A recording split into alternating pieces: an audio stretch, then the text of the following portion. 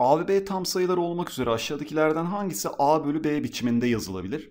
Sorunun cevabı basit. Ben size hemen söyleyeyim. Yani bilen için direkt böyle 3.2 der. Burada ama biz şunu önemseyelim arkadaşlar. Neden kök 3 e, pi ve kök 7 sayıları olmuyor? Rasyonel sayılar var arkadaşlar. Bir de irrasyonel sayılar var. Rasyonel sayılar herhangi bir kesir şeklinde yazılabilen sayılardır. Örnek 3, örnek eksi 2, örnek 1 bölü 3, örnek 4 bölü 5. Bakın bu sayıların hepsi böyle kesir halinde yazılabiliyor. Net değerlerini de biliyoruz bu arada. 3 zaten 3, eksi 2, eksi 2, 1 bölü 3, 1 bölü 3, 4 bölü 5, 4 bölü 5.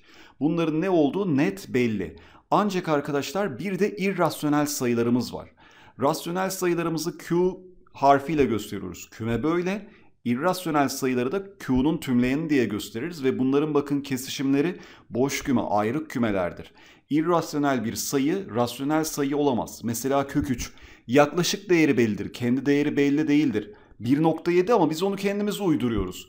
E arkadaşlar 2.71 gibi bir sayı deriz ama gerçek değerini bilmiyoruz. Pi mesela yıllardır biliyorsunuz sırrı çözülememiş hala kaç olduğu belli değil. Ne diyoruz biz? Uydurarak 3.14 yaklaşık olarak ama bunun gerçek değeri bu belli değil. Yine kök 7 de aynı şekilde arkadaşlar. Yaklaşık değeri belli ama gerçek değerini bilmediğimiz sayılar irrasyonel sayıdır. 3.2'de böyle bir problem yoktur. 3.2 32 bölü 10 diye yazılabilir zaten. Bundan dolayı cevabımız E şıkkı. Aşağıdaki şekilde altı çerçeve içerisinde birer pozitif tam sayı yazılmaktadır. Yan yana bulunan iki çerçevedeki sayıların toplamı hemen üstlerinde bulunan çerçevedeki sayılardan küçüktür. Örneğin yeşil çerçevelerden solda ve ortada bulunan iki çerçevenin içerisindeki sayıların toplamı 4'ten küçüktür. Bakın gördüğünüz gibi e, hangi sayılar demiş? Yeşil çerçeveden solda ve ortada bulunan. Yani bu ikisi bakın 4'ten küçükmüş. Bunu anlamını istiyor. Yani iki tane kare var, e, çerçeve var pardon. Bunlar arkadaşlar üstteki hemen üstteki sayıdan küçük. Örnek bu da yine 3'ten küçük arkadaşlar. Yine bunların toplamı da bu üsttekinden küçük. Buna göre yeşil çerçevenin sayıların toplamının en büyük değeri ile mavi çerçevedeki sayının en küçük değerinin çarpımı kaçtır? Yeşil çerçevelerin arkadaşların toplamının en büyük olması için nasıl olması lazım? Bir kere 4'ten küçük olacak bu ikisinin toplamı. Dolayısıyla mecburen buraya 2 yazabiliriz. Buraya da 1 yazabiliriz. Sonra arkadaşlar 3'ten küçük olduğu için şu iki tane çerçevenin toplamı mecburen buraya da 1 kalır bakın. Dolayısıyla 2, 1, 1 toplamları 4 oldu. Yukarıdaki mavi çerçeveye en az kaç yazabiliriz? 8 yazarız arkadaşlar.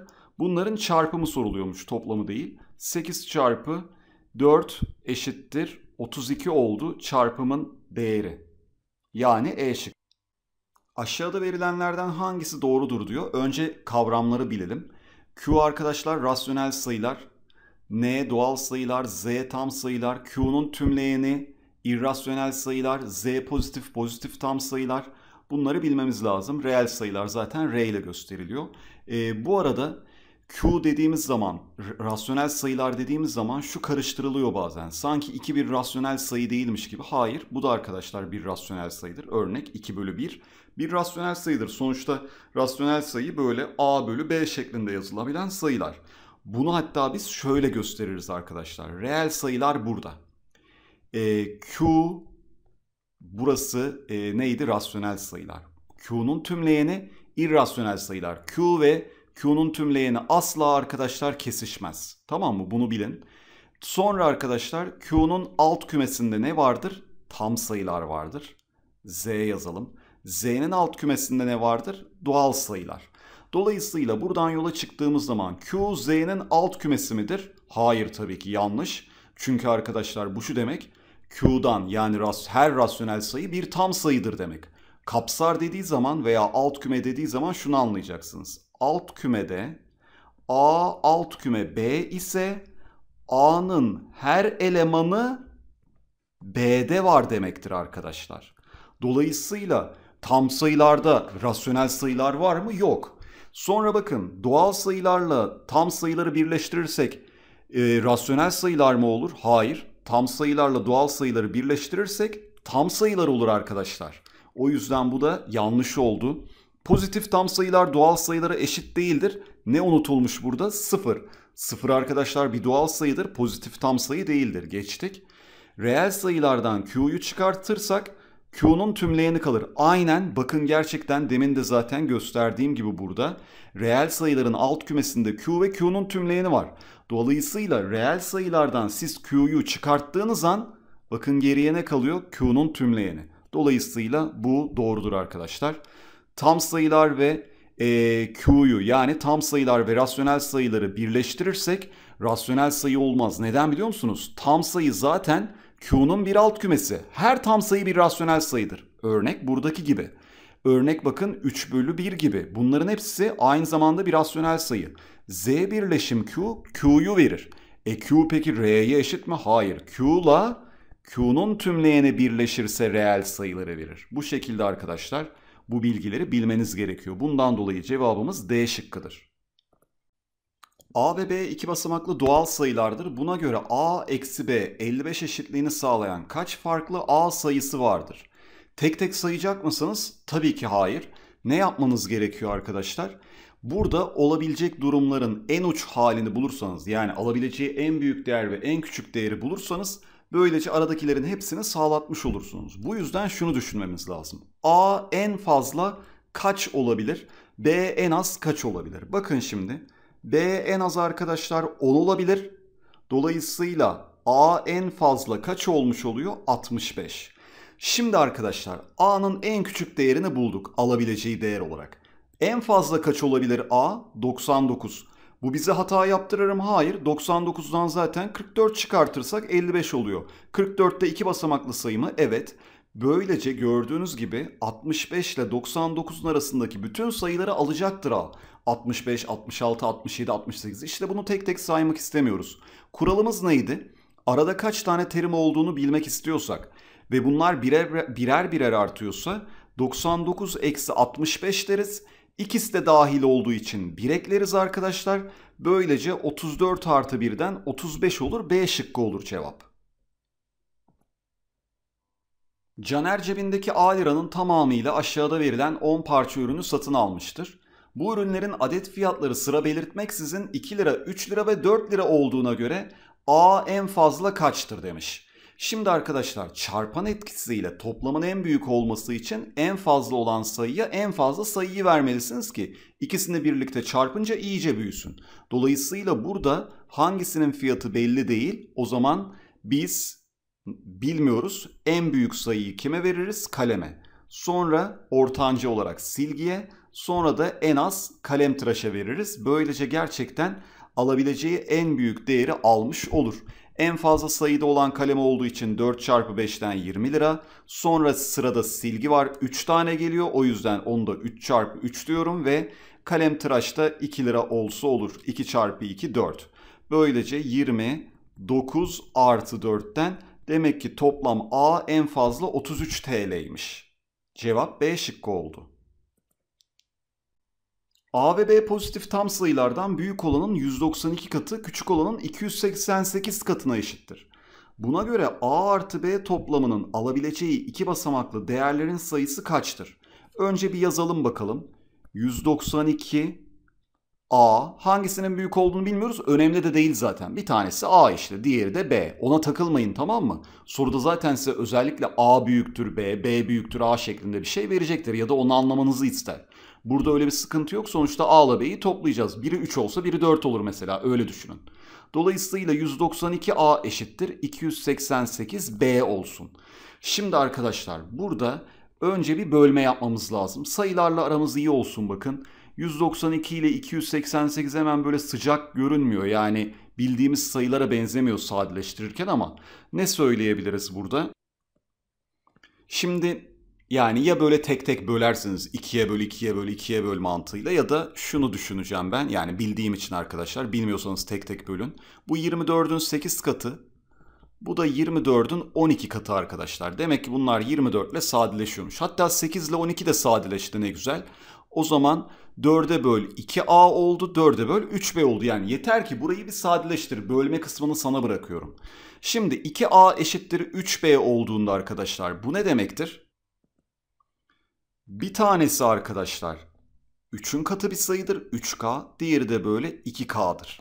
Bunu yapmak lazım. Çaprazlama böyle yer değiştirmelisiniz.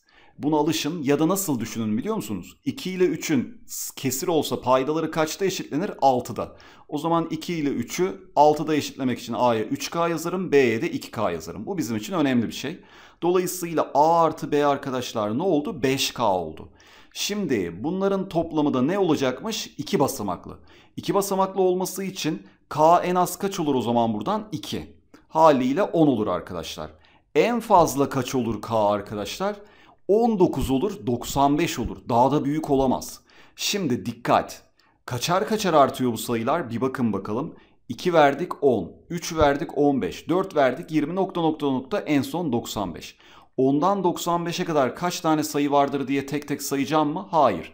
Şu kuralla yapacaksınız. Son terim eksi ilk terim bölü artış miktarı artı 1. Bu bize arkadaşlar kaç tane sayı olduğunu söylüyordu. Ardışık düzenli bir şekilde artarsa. 85 bölü 5 17 bir daha eklersek 18 tane sayı varmış. C şıkkı oldu cevap. Kare biçiminde bir kağıt üzerinde oynanan bir oyunda herhangi bir kare içerisindeki bölmelerde bulunan 4 sayıya bu karenin köşelerinde bulunan 3 işlem uygulanıp çıkan sonuç bu karenin altında bulunan daire içerisine yazılıyor. Bu sayılara işlemler uygulanırken sayılar yan yana sıralanıp aralarına parantez kullanılmadan işlemler karışık olarak yazılmaktadır. Örneğin sayılar 1, 3, 5, 7 ve işlemler çarpı artı ve eksi ise daire içerisindeki sayı 3 artı 5 eksi 1 çarpı 7 eşittir 1 şeklinde bulunabilir. Yani belli bir düzen yok demiş bakın. İstediğiniz gibi çarpın bölün toplayın. Daireler içerisinde sayılar tam sayı olduğuna göre toplamları en fazla kaçtı? Bir kere dairenin içine en büyük elde etmek için burada ne yaparım ben? Çarpımları en büyük verecek olan bu iki sayıyı seçerim. 5 çarpı 7 35 derim. Sonra da arkadaşlar 35 ile 3'ü toplarım. Ondan da 1'i çıkarırım 37 olur bakın. Sırası önemli değildi zaten. 5 ile 7'yi çarptım. Sonra 3 ekledim. 1 çıkardım. Elde edebileceğim en büyük sayı bu. Neden? Dediğim gibi çarptıkça sayılar büyür. Eğer büyük sayıları birbiriyle çarparsanız. Sonra gelelim sağ taraftakine. Sağ tarafta bir de bölme işlemi var. Dikkatli olmamız lazım. Burada bölmenin e, çok büyük e, çıkması için arkadaşlar ne yapmamız lazım? Bir kere e, mümkün olduğunca küçük sayı kullanalım ki çok fazla e, soruda sıkıntı yaşamayalım. Biz ne istiyoruz? Büyük sayı olmasını istiyoruz. Gidip mesela 4 ile 2'yi kullanmam ben orada. Neden? Büyük sayıyı durduk yere bölerek heba etmiş olurum. O yüzden sayı israfı yapmamak için mantıklı olan 2 ve 1'i kullanmak. 2 ile 1'i bölerim. 4 ile de arkadaşlar 3'ü toplarım. Sonra araya da bir eksi işareti koyarım. Böylece 2 bölü 1'den 2 olur. 4 artı 3'ten 7 olur. 7 eksi 2'den 5. Elde edebileceğim en büyük sayı da burada 5 oldu. Bunların arkadaşlar toplamlarının alabileceği en büyük değerde böylece 42 gelmiş oldu. x ve y birer doğal sayı olmak üzere x eşittir 12 bölü y artı 1 eşitliğini sağlayan y değerlerinin toplamı kaçtır? Arkadaşlar y değerlerini bulmak için x'in de doğal sayı olması için ne olması lazım? Çok düz bir mantık aslında. 12'ye bölünen sayılar seçmeliyiz. Dolayısıyla burada nasıl bir durum olmuş olacak? 12'ye bölünen sayılar nelerdir? 12, 4, 6, 3, 2 ve 1 çok fazla bir sayı yok. Bunu e, biliyorsunuz arkadaşlar bölme bölünebilme konusuna gelince daha basit şekilde de yapacağız. Ama şu anlık bu kadar bilgi yeterli bize. Çok da sayı yok zaten deneyecek. Dolayısıyla y'nin alacağı değerler nelerdir? 11. Sonra arkadaşlar 3. E, 6 olması için 5. 3 olması için 2. 2 olması için 1 ve 1 olması için 0. Dolayısıyla bunların toplamı 14, 5 daha 19, 2 daha 21, 1 daha 22 oldu arkadaşlar. A şıkkı geldi. Bir matematik öğretmeni tahtaya yazdığı kare, üçgen ve daire sem sembollerinin her birine artı, eksi ve çarpı sembollerinden birine karşılık geldiğini söylüyor. Daha sonra öğretmen öğrencilerinden verdiği hiçbir sembol ya veriliş sırasındaki işleme eşit değildir. Örneğin ikinci sıradaki üçgen ikinci sıradaki çıkarma işlemine ait değildir. E, daire sembolü artı değildir bilgilerini kullanarak 3 üçgen, 2 daire, 4 kare bir işleminin sonucunu hesaplamalarını istiyor. Şimdi arkadaşlar bir kere e, burada sırasıyla demiş ya artı, eksi ve çarpı. Şimdi artı ve eksi çarpıya eşit değilse bunlar. Haliyle ne olmak zorunda? Ça- e, bu arada dairede artı değilmiş. Daire artı değil, çarpı da olmayacak. O zaman eksi olmalı. Çünkü kesinlikle aynı sıradaki elemanlara eşit değildi. Sonra arkadaşlar üçgen eksiye eşit olamaz. Üçgen eksiye eşit olamadığına göre mecburen neye eşit olacak? Artıya. Kareye de mecburen ne kalacak arkadaşlar? Çarpı. Gördüğünüz gibi bu şekilde halletmiş olduk. Bundan sonra artık ne diyeceğiz? 3 artı 2 daireyi eksi bulmuştuk. 4 kareyi de çarpı bulmuştuk. 1. Böylece 5 eksi 4'ten cevabımız 1 oldu. A şıkkı oldu. 20 sayısından küçük ve hiçbiri bir diğerinin 4 katı olmayan en çok kaç farklı sayma sayısı vardır? Şimdi biraz böyle enteresan gelmiş olabilir ilk gördüğünüzde soru ne yapacağız diye düşündüyseniz şöyle arkadaşlar. 4'ün katı olanlardan mümkün olduğunca almazsanız sıkıntı yaşamazsınız soruda. Bakın 4, 8, 12 ve 16 sonuçta bazı sayıların 4'ün katı olduğu için bunlar bazı sayıların 4 katıdır. Örnek 4 1'in 4 katıdır. 8 biliyorsunuz ki 2'nin 4 katı. 12 yine 3'ün 16 4'ün 4 katı arkadaşlar. Bunlardan önce hiçbirini almayayım. Geriye kaç tane sayı kalıyor? 15 tane. Şimdi dikkat. 16 arkadaşlar 4'ün katı. Bir sayının 4'ün katı. Ama sonuçta bu 15 sayının içinde 4 var mı? Yok. O zaman bu 15 sayının içine ben bir de neyi eklemeliyim? 16 elemanını eklemeliyim. Bundan dolayı toplam 16 tane sayıda e, ne olacak arkadaşlar? Sayma sayısı herhangi birisi diğerinin 4 katı olmayacak. Belki birçoğunuz şöyle buna dedik ya bu 15'tir işlem hatası vardır ama cevabımız C şıkkı arkadaşlar. Neden? 16 evet 4'ün katı ama bu yazdığımız sayıların hiçbirinin 4 katı olmayacak. Neden? Ben 4'ü zaten almadım. Bu yüzden cevabımız C. X, Y, Z sayıları ile ilgili aşağıdakiler veriliyor. Y bir rakamdır. X ve Z sayma sayıları aralarında asaldır. X artı Z toplamı 5'ten küçük değildir. Buna göre 3x eksi 2y artı 4z ifadesinin alabileceği en küçük tam sayı değeri kaçtır? Önce arkadaşlar 5'ten küçük değildir dediği zaman hemen onu büyük olarak algılamayın. Bazen eşitsizlik sorularında o hata yapılıyor. 5'ten küçük değildir demek şu demektir. x artı z 5'e eşit de olabilir, 5'ten büyük de olabilir. Bunu önce bir hatırlatayım hata yapan arkadaşlar için. Şimdi gelelim çözümde de neye bakmamız gerekiyor? Toplamın en küçük olması için 4z'ye mümkün olduğunca ve 3x'e mümkün olduğunca arkadaşlar küçük sayılar vermeye çalışmalıyız. Sonra yine y'ye de verebileceğimiz en büyük sayıyı verelim ki fark en küçük çıksın böylece. Şimdi e, burada x artı z toplamı 5'ten küçük değildir dediğine göre x artı z 5'e eşit olabilir arkadaşlar. En az böyle olur. Böylece x'e verebileceğim e, pardon z'ye verebileceğim en küçük sayı 1. Neden? z'nin katsayısı büyük olduğu için onu en küçük yapmak istiyorum. Böylece x'e ne kalacak arkadaşlar? 4. Haliyle 4 çarpı 3'ten 12 oldu. Z de arkadaşlar 4 çarpı 1'den 4 geldi. y'ye kaç vermeliyiz? y bir rakammış. O zaman y rakamı en fazla kaç olur? 9. Yani 16 eksi 18 eşittir eksi 2 C şıkkı olmuş oldu cevap. Bir çember etrafında her birinde birer bilye olan 10 tane kutu bulunuyor. Her hamlede bir tane boş olmayan kutu seçiliyor. Seçilen kutudan bir bilye alınıp kutunun bir sağındaki veya bir solundaki kutuya aktarılıyor. Buna göre tüm bilyeler en az kaç hamlede aynı kutuda toplanır? E, temsili olarak e, zaten dairesel olduğu için hangisini seçtiğiniz önemi yok. Diyelim bu kutuyu seçtik arkadaşlar tamam mı? Şimdi bu kutudan e, böyle sağına da soluna da özgürsünüz. E, ben şimdi sağ tarafa doğru yani altına doğru aslında bir nevi bir tane e, verdim içine bu karenin. Burada iki tane oldu. Artık burası boşaldı sıfır oldu. Şimdi bundan sonra artık ne yapacağım? Hepsini bunda toplayacağım arkadaşlar. E mecburen ne olacak? Birden buraya yakın olduğu için iki hamlede geliriz. Sonra e, yazayım bakın. E, şuradan bu birden buraya bir hamlede geliriz arkadaşlar. Şu birden buraya kaç hamlede geliriz? Orayı ben hatta kapatayım artık. Bu kutuya geleceğiz tamam mı? Şöyle. Bu kutuya gelmek için arkadaşlar mecburen e, buradan kaç hamle yapmanız lazım? 1, 2. Bu yüzden buraya 2 diyorum. Sonra buradan o pembe kutuya gitmek için 3 hamle yapmamız gerekiyor. Sonra arkadaşlar bu kutudan 4 hamle yapmamız lazım. Artık e, şunu söyleyebiliriz. Devamında da yakın olana gideceğiz ya artık sakın böyle gelmeyin. Yakın olan hangisiyse oradan devam edin. Şimdi şurayı demiştik zaten. Burası bir hamle. Burası arkadaşlar iki hamle.